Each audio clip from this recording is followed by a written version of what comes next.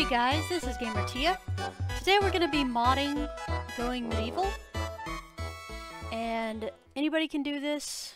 It's pretty easy. I just got to show you a couple things. What we're going to be modding is the stack sizes, the decay.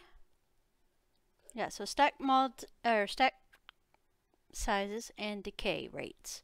So I'm going to show you how to do those two things and uh, so it's only going to be in one file that you have to edit things.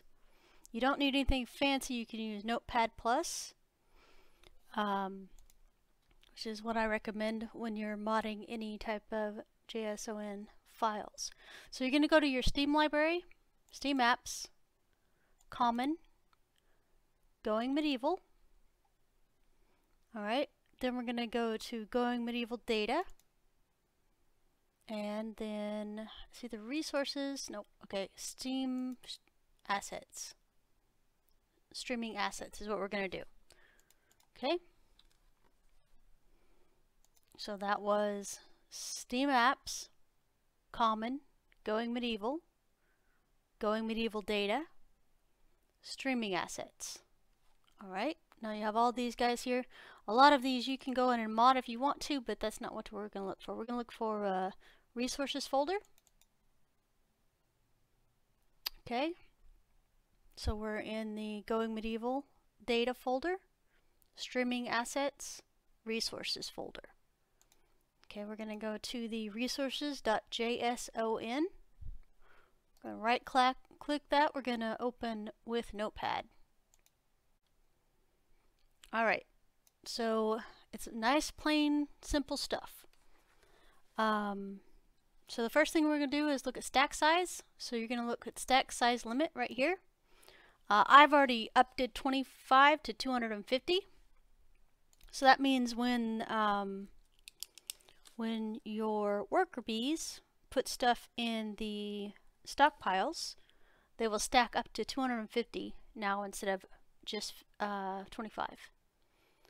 Um, so that's it right there and that's for red currant. So you have to do this for every single one. So my suggestion would be to highlight this, Control H, and it's going to pop up this window. So it'll replace. Control H is for replace. I'm going to put this in here. Control C, Control V, and change that from 250 to 500. Replace all. Boop. So 20 occurrences that had 250 limit are now 500. Okay. So that's the first part for the stacking size. The second part we're going to do is the temperature and the rot. So these will have different numbers in here.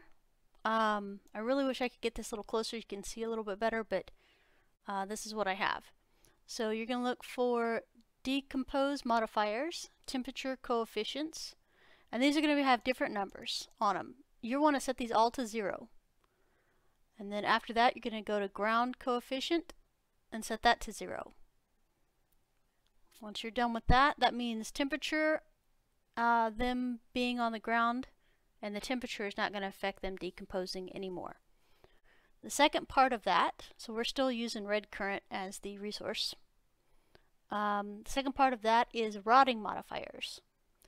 So in order to prevent it from rotting, you have to tell it that you wanted all zeros again and the ground coefficient to zero again. So you'll have to do this on uh, all the files below in order to get what you need done done. It's not too bad. Uh, I ended up cutting and pasting. Um, like copy this and drop it in where it needs to go next. I actually have to look for a couple places because I think I missed a couple of them. So zeros and zeros and more zeros. So I've already edited this file. Um, as you can see, most of the stuff is good. Let's see here.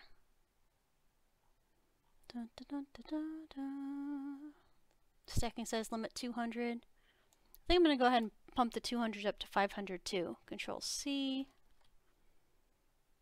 Control H. 200 to 500. Replace all. Okay.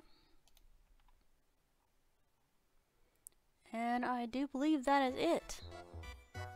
Short, sweet, easy to do for pretty much anybody. Hopefully you guys were able to uh, follow this and have a good night. Bye guys.